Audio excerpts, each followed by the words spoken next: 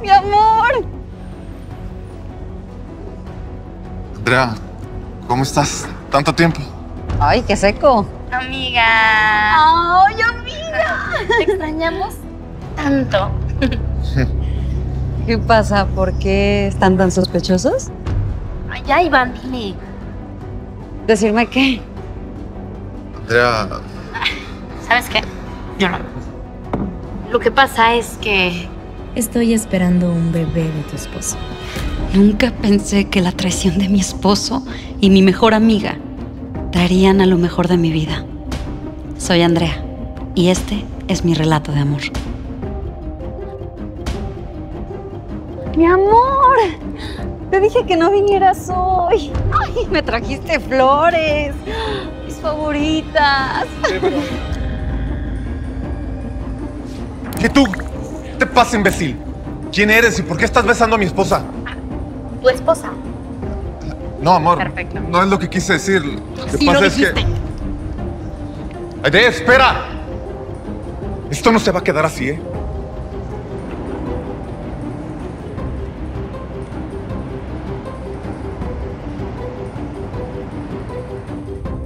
Ahora, güerita, espérate, espérate, espérate. Necesito una explicación. ¿Por qué me besó allá? Cierto, te debo una explicación y una disculpa.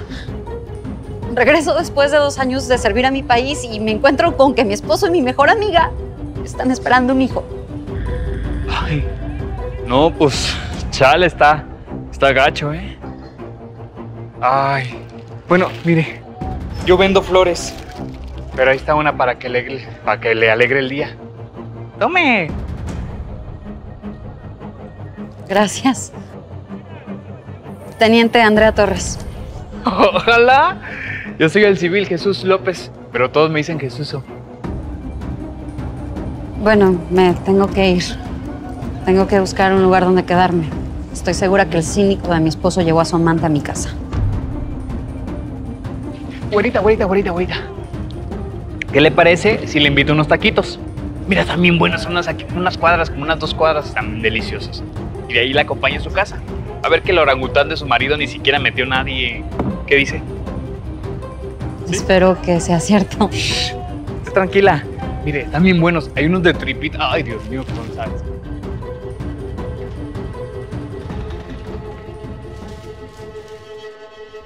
No puedo creer que seas tan cínica, Andrea.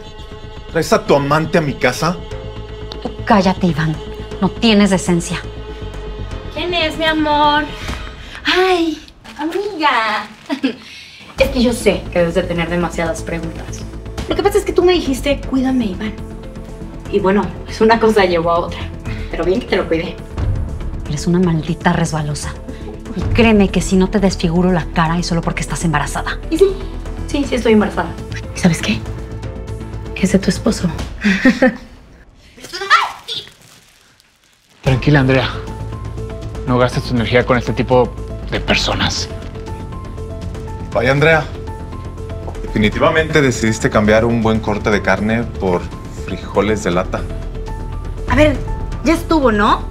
Digo, si quieres estar con esta, pues entonces lárgate con ella. ¡Ay, no! Amiga, no te preocupes. Si antes te regalaba mi ropa porque no tenías dinero, no veo por qué no puedas quedarte con Iván. Al cabo que te gusta quedarte con todo lo que ya no me sirve. Por cierto, ¿ya comiste? No puedo creer que me enamorara de ti. Eres un completo imbécil. Solo hace falta mirarme, ver mi físico y mi carisma. No te culpes. ¿Sabes qué? Un día te vas a arrepentir de todo lo que me estás haciendo. ¿Nos vamos, amor? Claro que sí. Te vas a arrepentir, Andrea, por cambiarme por ese gato de quinta. Iván. Iván. ¿Qué piensas? Iván.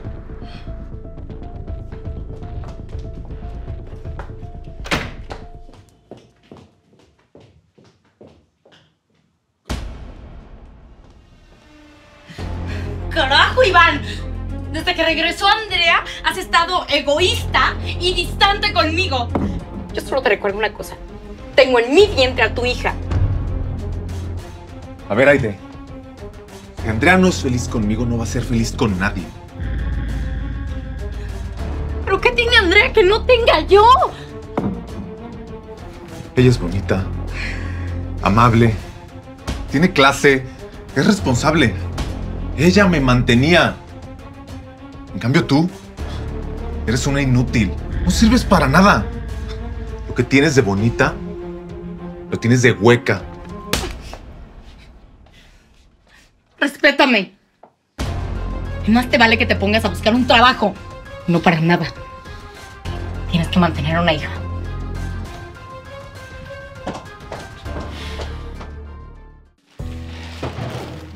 Bueno, pues bienvenida a mi casa. Mire, yo sé que está pequeña, sencilla, pero es muy honrado. No tengo cómo agradecerte todo lo que haces por mí. No, hombre, si esto lo hago de todo corazoncito. ¿Cómo cree usted que dejaría una mujer tan hermosa como usted ahí en la calle? Diosito me regañaría. ¿Quiere un cafecito? Eres un caballero en toda la extensión de la palabra. Ya no me diga más que me sonrojo. Oiga, no quiero sonar muy metiche, mucho menos me gustan esas cosas, pero ¿cómo una mujer tan hermosa como usted andaba con un malandrín como ese? Él no era así. Estuve dos años haciendo mi servicio militar. Teníamos seis meses de casados y él fue quien me impulsó a irme. Yo nunca quise dejarlo. Chale. Entonces ese talibán sí tenía su corazoncito. La canija fue la idea. Ella se ve que es bien entrometida, ¿verdad? Éramos mejores amigas desde pequeñas. Siempre sentí su envidia hacia mi persona, pero jamás me imaginé que me odiara tanto como para quitarme al amor de mi vida. No se preocupe. Mire, como dicen, no hay mal que por bien no venga. Muy seguramente su ángel está cerca. Más de lo que te imaginas.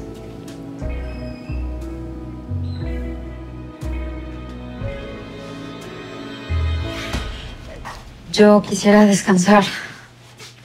Sí, pues, tiene razón. Eh, si quiere le preparo la cama. Le preparo la cama y ahorita le hago su cafecito y se la llevo. ¿Sí?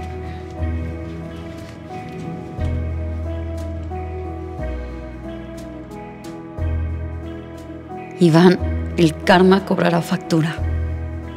Y gracias Dios por mandarme este ángel guardián.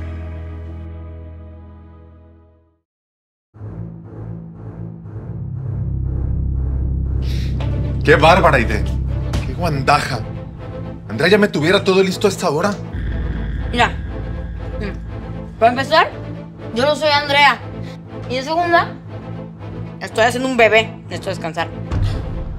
Puros pretextos. Ya me estás comenzando a dar asco, ¿eh? De hecho, ya me estoy arrepintiendo de haber dejado a Andrea por ti. Lo único que me deja tranquilo es saber que tú fuiste la que me engatusó. Yo soy un hombre débil a la carne de una mujer. Pero verte así, en serio que hace que me arrepienta. Iván, ya deja de ofenderme, ¿sí? Bueno, pues si no te parece, la puerta está muy grande. Puedes irte. Mira, Iván, yo. Lo que pasa es que yo. Andrea, regresaste a pedirme perdón. No te culpo. Que no vuelva a pasar, ¿eh? Estás idiota. Vengo por lo que me corresponde. La casa. Así que tienen hasta el día de hoy para largarse, par de parásitos. Estás idiota si crees que yo me voy a ir a algún lado, ¿eh? Te recuerdo que esta era la casa de mis padres, así que está a mi nombre. Y si no los corrí ayer era porque no soportaba verles la cara. Así que se largan ahora mismo o los acuso por allanamiento de propiedad. Andrea, Andrea, mira, por favor, dame una segunda oportunidad. Te prometo que voy a alejar a Aide de nuestras vidas. No la volveremos a ver. Qué asco me das. ¿Qué te pasa? Eres un imbécil. ¿Sabes qué, Andrea? No te necesito.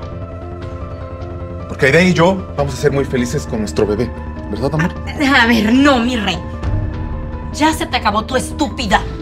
Y ni se te ocurra acercarte a mi hija o a mí. Que no somos premio de consolación. A ver, Aide, tú no puedes dejarme. No tienes nada sin mí. Claro que sí. Yo tengo familia y tengo una madre que me abriría los brazos. Así que espero que disfrutes tu soltería en la miseria. Y espero algún día me puedas perdonar. Andrea, te vas a arrepentir de todo esto. Sé que algún día vas a regresar a mí, arrastrándote para pedirme perdón. No sabes lo mucho que voy a disfrutar ese momento. Ay, ya lárgate. ¡Fuera! ¡Fuera!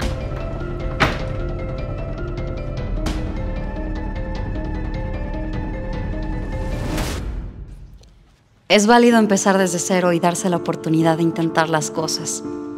Recuerda que tú escribes el libro de tu vida y de ti dependen las veces que quieras escribir la página 1.